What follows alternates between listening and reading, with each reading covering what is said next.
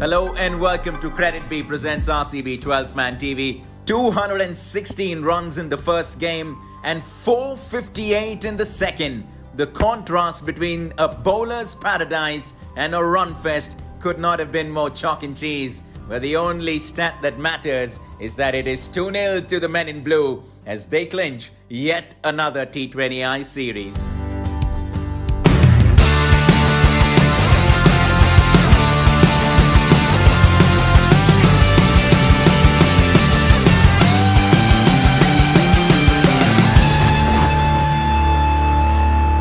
Everyone who came out to bat for Team India contributed handsomely. A batting display that came right out of the perfect script meant India put on 237 on the board, a total that the Proteas fell short of despite fireworks of their own. What will be Team India's takeaway from the 16 run victory? Here are our top three. KL Rahul and Rohit Sharma give India a dream beginning.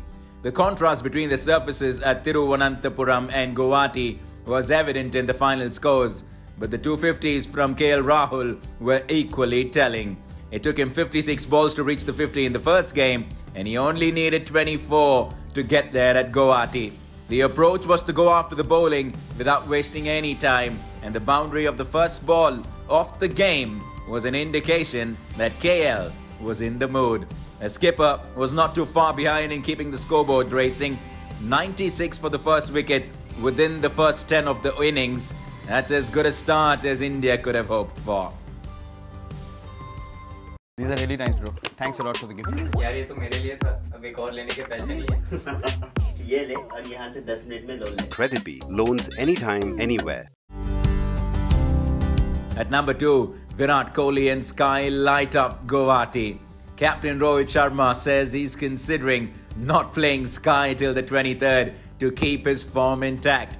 Can anyone argue against it? 61 of just 22 against a bowling unit of South Africa's caliber, and now the fastest to 1,000 runs in terms of balls in T20 internationals. No tactic really makes a difference to you when your Suryakumar Yadav in this form does it. Virat Kohli at the other end threw a couple of punches of his own with a 28 ball unbeaten 49.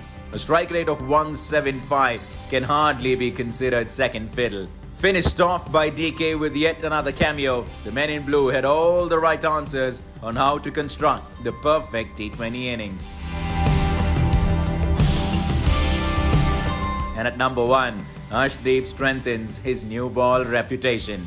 He hasn't quite hit his strides at the death, but Arshdeep is slowly making it talk with the ball, with the new ball in particular. If a three wicket over in the first T20 I might have been chopped down to the green track, making two crucial inroads again in the first over in the run chase, put a spanner in the South African works in the second a power play scoring rate of less than 8 in over thanks to Arshdeep's wickets and some tight bowling from the other end by Deepak Chahar and Ashwin meant despite Miller's onslaught, 237 was a bridge too far for the visitors.